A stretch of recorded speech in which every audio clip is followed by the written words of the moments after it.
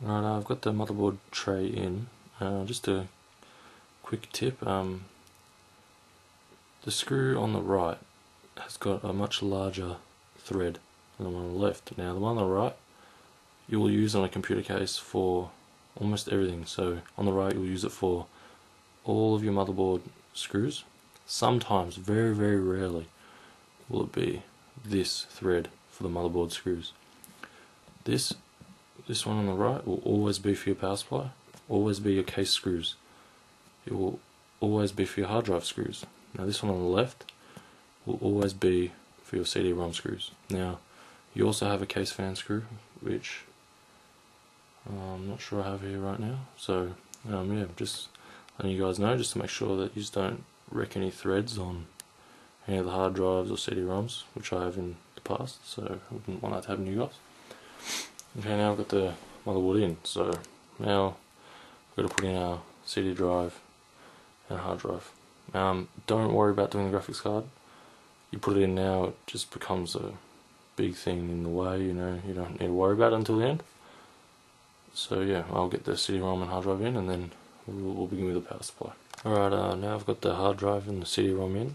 Uh, what I've done, I've just got this in here loosely. Um, just to see if it would fit. Now, in that bay where the hard drive's sitting right now, you have this little thing that slides in. Now, that, if that silver thing was there, it would actually hit, so it wouldn't fit.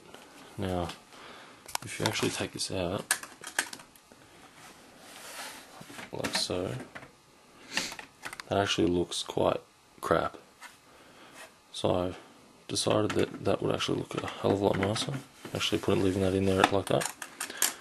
Now, uh, one thing to note that I've done, I've actually put the hard drive in the opposite way around. So here we've actually got no inputs for the hard drive, actually all the back.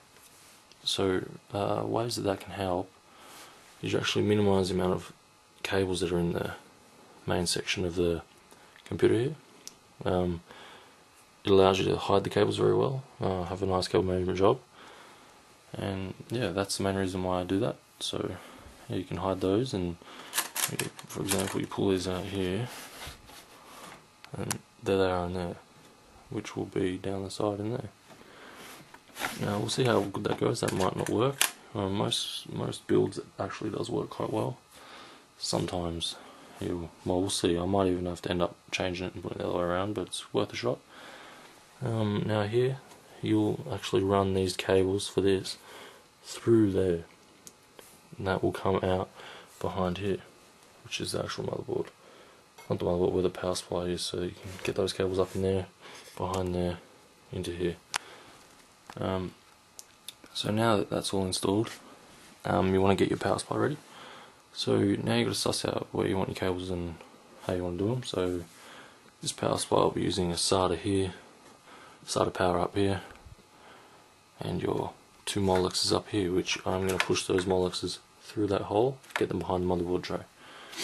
Um, and we're going to obviously need power here, here, and over here. So uh, first of all I actually might run the SATA cables and yeah, I'll have a little bit of an update. Uh, and first of all, before I go, I want to show you, put the CD drive in, you've actually got to take out whatever drive bay you're putting in, you've got to take out that piece of mesh at the front. You've got to pop off the little blank plate as well to be able to slide it in. Um, I'll be back. Um, I'll go and I'll put this power supply in the in the SATA leads and I'll show you uh, where I would hide my cables and how I would do it. Right, I'll be back.